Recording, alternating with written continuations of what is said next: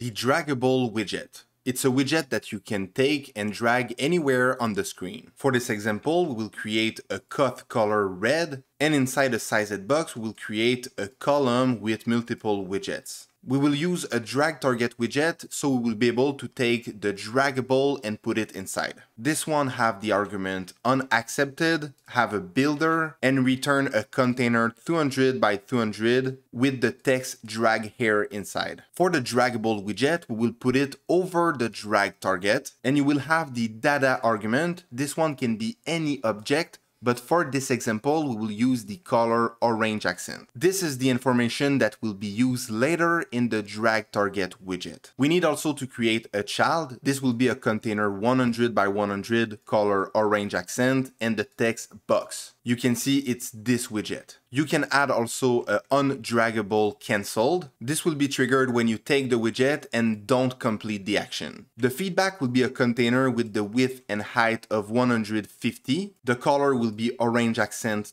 with opacity 0.5. The child is a center widget with the text box and three dots. This is the widget that you are currently dragging. You will also need to create a style for the text. I will use a color white and the font size 18. And just like this, you have created a draggable widget that you can put inside the drag target widget.